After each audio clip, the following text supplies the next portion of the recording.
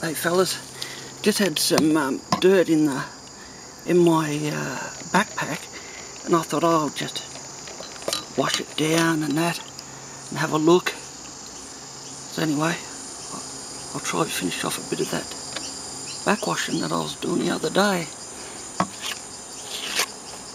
Um, yeah, actually, there are two little bits of gold in here, to my surprise. Just shows you, you've always got to check.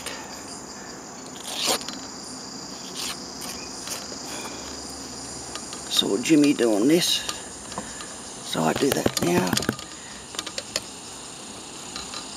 Now I don't think you're going to be able to see it in the camera because I've already tried it.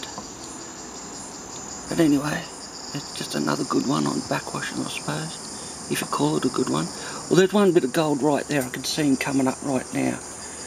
I don't think you'll be able to see it. It's right in there. I can't get close because I've got a tripod here.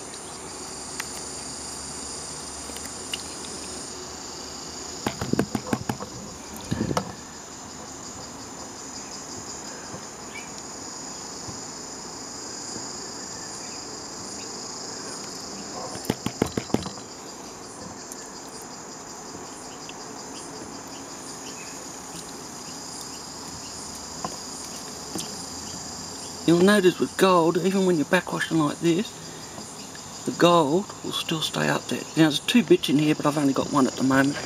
And he's just up there. I don't know if you can see it. Sorry guys. I'm in a hurry. I'm packing today to get go down. My sister switched on. But he's just there. I think you could just see it. So there you go. Um, never know what's in bits of dirt hidden in your buckets or in your bag, in your pack. Alright. Have a good Christmas, guys. Merry Christmas and a safe and happy New Year to all of you and your family. God bless you, guys. This is Len signing off. Bye for now.